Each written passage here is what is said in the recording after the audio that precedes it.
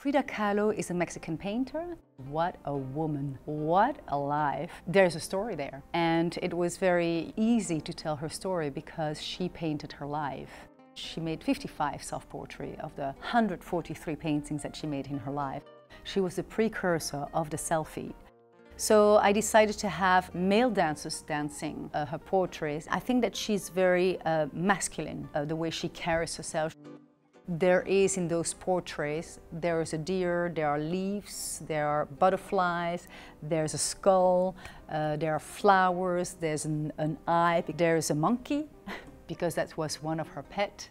I understand the, that the dancers are a bit um, worried in the beginning that nothing happens, but I said you are so fantastical and surrealist that when you come on stage, I need the audience to have a moment to look at you, and then we can start the dance. When, when I created the piece in 2016, I never saw the 11 dancers painted until the day of the premiere. And when they appeared the first time, I literally I cried. I was like, this is what I imagined.